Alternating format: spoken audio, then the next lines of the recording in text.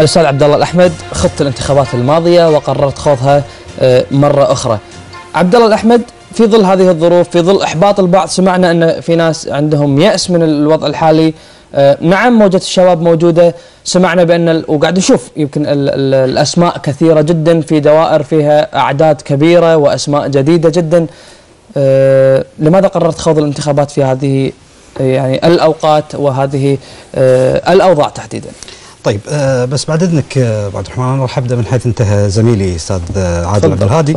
آه في حديثه عن الأحداث المحيطة في الإقليم العربي من ثورات عربيه، إذا كانت الثورات العربية في الخارج تهدف إلى إسقاط أنظمة وإنشاء أنظمة جديدة فالربيع العربي في الكويت هو موجود لتثبيت النظام اللي موجود فيه، نعم. هذا أمر ما في خلاف عليه، نعم. ننطلق إلى النقطة اللي وراها، اليوم ودنا إحنا نشعر بمفاهيم جديدة ننطلق من خلالها، اليوم الدكتور في الفقرة السابقة قال إنه يختلف معاي، أنا أتأكد يا دكتور ويتاكد الجميع.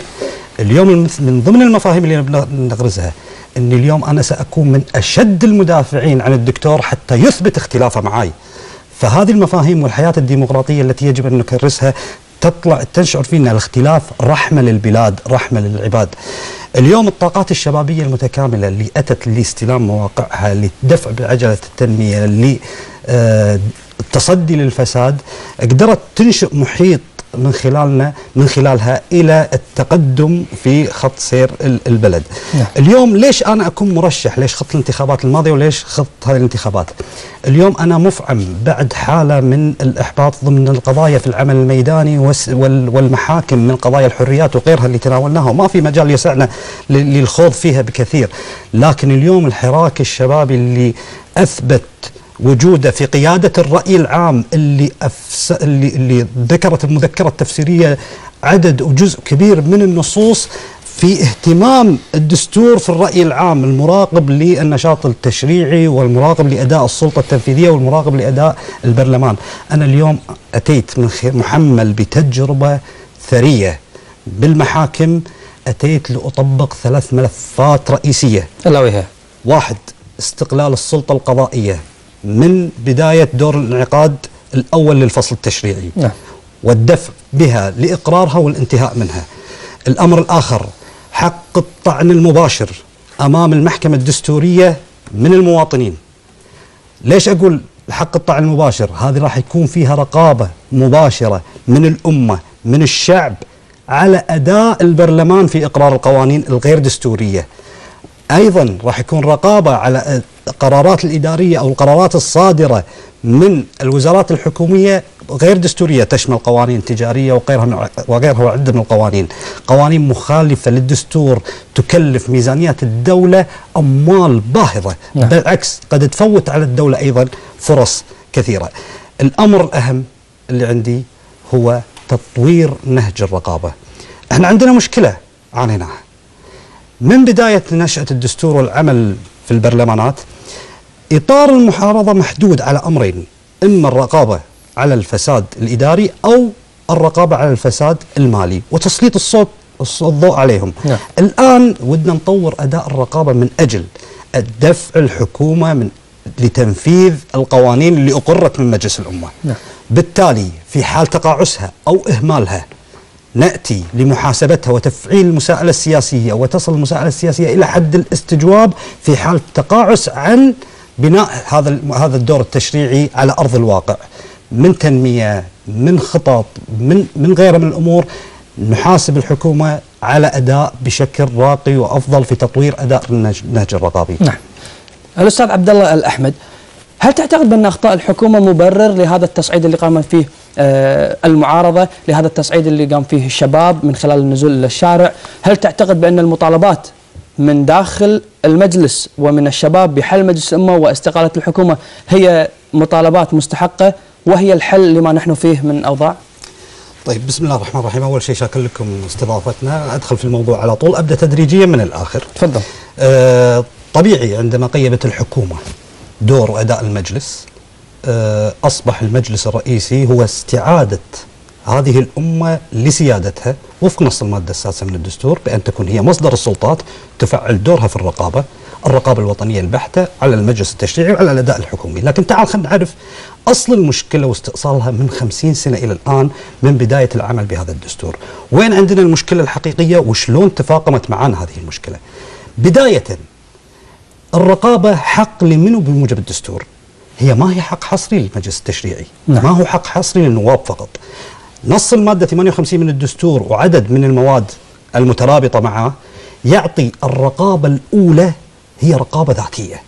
أن تكون لمجلس الوزراء رقابة على أداء الوزاري. نعم ثم رقابة أمام رئيس مجلس الوزراء أي أن كل وزير في مجلس الوزراء مسؤول عن أدائه وعن سياسته وعن تعاملاته أمام رئيس مجلس الوزراء يأتي المادة 58 من الدستور ونصت على أن رئيس الوزراء والوزراء كلهم محاسبين ومسؤولين أمام صاحب السمو الأمير. إذا إحنا عندنا ثلاث أدوار في الرقابة الذاتية معطلين تماما. لا لا يكون لم لم يكن هناك أي تفعيل لهم. بالتالي نجد أن الرقابة انتزعت وتحولت إلى ال- إلى المجلس التشريعي. بالتالي تم تفعيلها.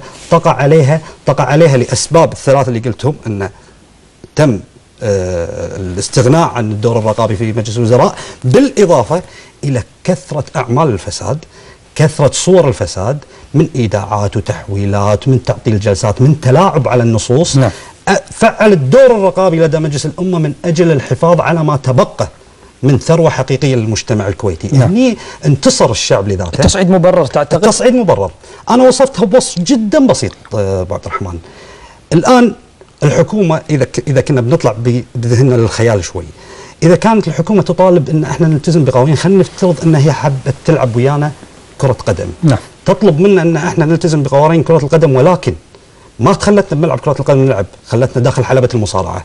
هي مسكت القفازات تضرب اللاعبين تمسك الكرة بإيدها وتطالبنا بتطبيق القوانين الخاصة في ملعب كرة القدم. ما يجوز.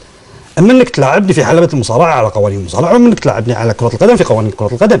ما يصير أنت تخترق القوانين عندك جميع الأدوات وتبيني ألتزم في قوانين محددة لا أستطيع أني أواجهك فيها. نعم. ما يصير تفرض علي هذا الأمر. بعدين عبد الرحمن أمر مهم.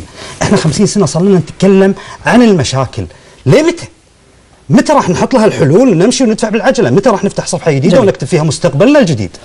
أستاذ عبد الله أول شيء إحنا شوي يعني اليوم وجوه وجوه جديدة وجوه شابة. يجب أن ننقل التفاؤل تفاؤل الشباب إلى المشاهد. آه، ما نبي حديثنا يكون حديث متشائم وإن كان الواقع فيه بعض التشاؤم لكن إن شاء الله بالشباب بالمرشح الجديد بعزيمتكم يكون المستقبل أفضل. عبد الله آه، تسمى محامي الحريات. شاركت مع الشباب كنت قريب من الشباب المعتقلين كنت قريب من ال- ال- الحركات الشبابية. بالمرحلة المقبلة في حكومة جديدة كنتم المطالبين بنهج جديد. وجود الشيخ جابر المبارك اليوم يهدي. وجود حكومة جديدة للشيخ جابر المبارك. هل تعتقد بأن هذا هو الحل؟ هذا ما كنتم تريدونه كشباب وشباب أنت اليوم دافعت عنهم ووقفت أمام المحكمة لت- لتدافع عنهم. هل تعتقد بأن فعلا إحنا ماشيين بالاتجاه اللي كنتم تطالبون فيه؟ آه، طبعا خلينا نبدأ لك من نظرية التفاؤل اللي اطلقتها والعمل على بناء جديد للدولة. نعم. إذا كان في شخص يحق له انه ييأس يتشائم فأقول لك أبو عبد الرحمن أنا أول شخص يفترض أني كنت أيأس من الفترة الماضية. ليش؟ ليش؟ من الأحداث اللي تمت خلال سنة ونص. أنا جايك بطريق. نعم. لكن لله الحمد بعد الصحوة الشبابية التي واكبت الأحداث الأخيرة وجدت أن ال- أن الجموع الشعب الكويتي والمواطنين استرجعوا نفس الهمة من أجل بناء جديد من أجل فرض نفسهم على المواقع من جديد من أجل تغيير الصورة الضبابية الصورة السوداوية التي كانت أثناء الحقبة الماضية. نعم. أنا أقول لك ليش المفروض أنا كنت أيأس. أنا شخصيا واجهت إقحام السلطة القضائية في نزاعات سياسية عدة. وصل عدد القضايا إلى أكثر من 20 21 قضية. طيب نهايتها هذه كلها وين راحت؟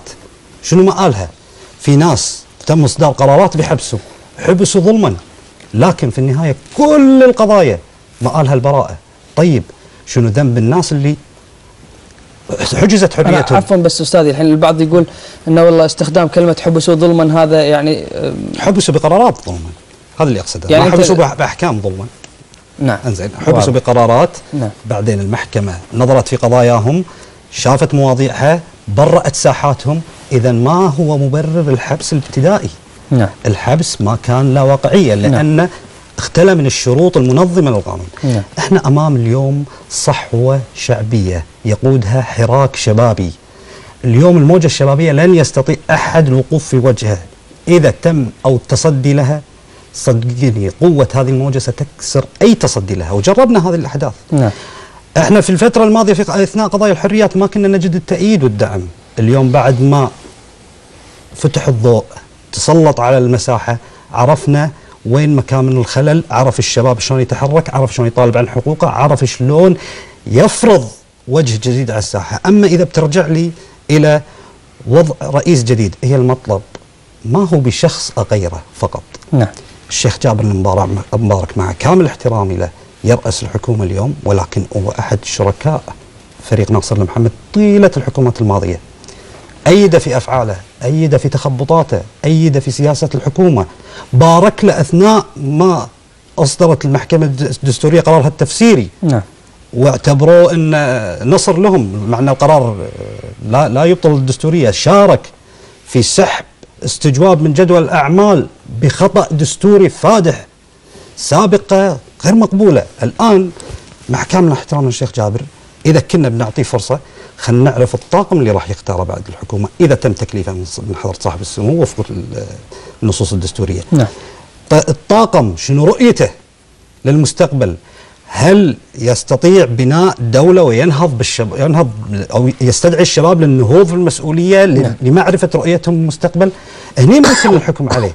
لكن إذا تم وفق السياسة القديمة وما حاول يقدم برامج واضحة ما حاول يلتزم مع نفسه لا بالتأكيد لن لن يجد منا الدعم والعون نعم. سيجد لنا نتصدى له مثل ما تصدينا في الأمر, في نعم. الأمر بس- الأول نعم. آه، مسألة آه، الوقوف في محا... في المحاكم أول شيء إذا كانت عند أي حكومة جادة رؤية واضحة نعم. يجب تطبيق المادة 50 من الدستور اليوم فصل السلطة القضائية أصبح حتمي نعم. وتحريرها من يد السلطة التنفيذية أصبح أمر لا نقاش ولا جدل عليه. نعم. يجب أن أن تقوم الحكومة الجديدة بهذه المبادرة حتى نتلمس فعلا نعم. بداية جدية للموضوع. واضح أبو فارس. الأستاذ عبد الله الاحمد مرشح الدائرة الثانية. ماذا تقول ختاما؟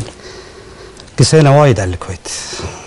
بس حرام وخلاص يكفي. يا الدور الحين إن ناخذ ورقة بيضة جديده نكتب فيها مستقبلنا. شنو بقى يسوونه وما سووه القضاء اقتحموه واقحموه بقضايا سياسية. السلطات الأمنية وفعلوها وخلوها رؤوس حرب لعصابات أمنية ضد المجتمع. رشاوي وادفعوا تحويلات وعطوا. كل هذا ما نفع. أغلبية برلمانية حصلوا عليها بتلك أو ذيك. ما نفع كل هالأمور. خلاص. الفساد ما له دور عندنا. الآن النفس للإصلاح. حلول إيجاد الحلول لبناء عهد جديد بدولة جديدة بأمل جديد.